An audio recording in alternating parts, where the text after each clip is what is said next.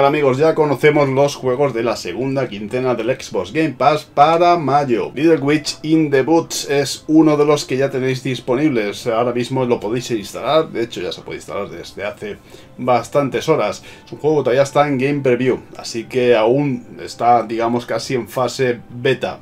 Habrá que ir probándolo en cualquier momento, bueno, pues se lanzará su versión final. Es un juego de rol donde encarnamos a una aprendiz de bruja. Eh, tendremos que recolectar, tendremos que hacer pociones, crear esos objetos y bueno, ir llevando la vida diaria de efectivamente un aprendiz de bruja. Algún día será una bruja de verdad. Otros los que han llegado hoy es este Umurangi Generation, juego de eh, fotografía en primera persona basado en el futuro con estilo retro. Eso es lo que pone en su descripción. Es decir, un futuro, digamos, alternativo, con toques efectivamente retro. También nos llega hoy Jurassic World Evolution 2. Hay vídeo en el canal, bueno, dicen algunos que es peor que el primero, técnicamente creo que está mejor, y se puede jugar tanto en One como en Series X. Hay versiones, me parece que tiene Smart Delivery. Floppy Nights que llegará el 24 de mayo. Es un juego casi de tablero, juego de mesa, bueno, por turnos, juego de estrategia, ya sabéis. Y el simulador de desguace espacial Hard Space Breaker llegará el día 24, el día 24 de este mes. Sí, ya lo estáis viendo, tendremos que ir desguazando todas esas naves en esos vertederos virtuales que vamos a ver, con esa que lo hemos visto no en tantas películas futuristas, esa gente son mecánicos que se dedican precisamente, bueno, pues a estas tareas de reciclaje. Y el día 25 plato bastante fuerte, Sniper Elite 5, que podéis instalar tanto en su versión de One como en Series X. Juego que nos trae Rebellion, juego que llega día 1 al servicio, juego de esos que le gusta a mucha gente simplemente por el hecho de que cuesta más dinero, ¿eh? o de los que suelen llamar triple A juego que llegará a 4K o hasta 4K en Series X y 1440p en Series S. Las consolas de anterior generación se queda en los 30 frames. Y el día 27 también Pac-Man Museum eh, Plus o Plus. Sí, la versión de One del juego que ya salió para Xbox 360 con ese aspecto renovado que veis. Bueno, siempre es eh, de agradecer, ¿no? Estas versiones arcade, estas ROMs puestas al día. También llega día 17, pero esta vez en el PC Game Pass, Her Story, juego que salió hace 6 años, juego muy premiado.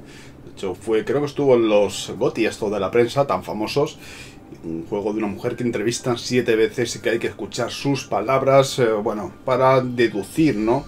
Intentar indagar entre esas eh, partes, entre esa base de datos, para averiguar, bueno, pues todo su tema, ¿no? Toda la historia, etcétera. Yo lo jugué, me parece, en su día que es un juego que está bastante bien. Sale ahora, ¿no? 17 de mayo del 2022 en la Windows Store, cuando ya digo, lleva bastantes años, ¿no? que ha estado o desde por lo menos su salida. Farming Simulator 22 que llega para las tres variantes del servicio lo hace el día 19. Preparad vuestros tractores y vuestras máquinas agrícolas para la última versión del simulador. Vampire Survivors también para PC y para el día 19 ya lo veis, muchas hordas, habrá que crearse incluso una build para conseguir acabar con todas estas hordas que vendrán a acabar con nuestro vampiro. Como digo, solo para PC Game Pass. Skate, que se puede jugar ya a través de la nube, que es una de las novedades que han aparecido este mes. Cricket 22 también se une al PC Game Pass y lo hará el día 27. En cuanto a las salidas confirmadas, Knockout City sale del servicio. Me extraña mucho que salga, salvo que lo vayan a cancelar, lo vayan a retirar de la Store o vaya a salir del propio EA Play, que salga del Xbox Game Pass. Eh, a lo mejor estaba incluido, ¿no? No estaba a través del Xbox Game Pass Ultimate, pero si está en el EA Play, o si permanece en el EA Play, eh, todavía podremos jugarlo a través del Xbox eh, Game Pass Ultimate. Eso es impepinable, así que es posible que también el juego salga del servicio, ¿no? Del EA Play. Un poquito más duele el hecho de que Resident Evil 7 de consolas salga también de servicio final de mes. Bueno, habéis tenido hace poco posibilidad de comprar la edición Gold, que ya incluía absolutamente todo, bastante barata. También es verdad que van a lanzar versiones remasterizadas tanto del Resident Evil Remake 2, el 3 y este Resident Evil 7, así que quizás por eso vaya saliendo del servicio. Y otro de esos juegos que van a salir también es Super Hot Mind Control Delete, ya sabéis la secuela del título Superhot. Así que aprovechad que tenéis por delante prácticamente 15 días hasta que desaparezcan. Desaparecen del servicio, no de vuestras bibliotecas y por supuesto no de la venta, que siempre que lo tengáis comprado o siempre tenéis la posibilidad de comprarlo, será vuestro. Pero eso para el 100% de los productos que se lanzan en la Store. Y esto es lo que llega al final en esta segunda tanda de juegos para el Xbox Game Pass de mayo. Nos vemos con más. Más juegos, más gameplays, más noticias, más directos y más de todo. Hasta luego.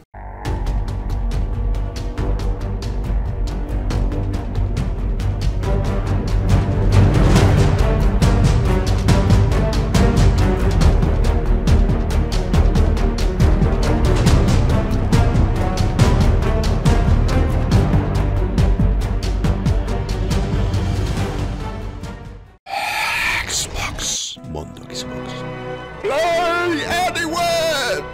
Mira, son los retrocompatibles. Series X. Game Pass. Ray Tracing. Juegos a 4K. SSD. Eso da extra de potencia. No, no, ya veréis qué risa. ¡Olvidadnos! Smart Delivery. ¡Mundo! ¡Mundo Xbox! ¡Mundo! No se dice Xbox, se dice Xbox. ¡Que te vayas a la mierda!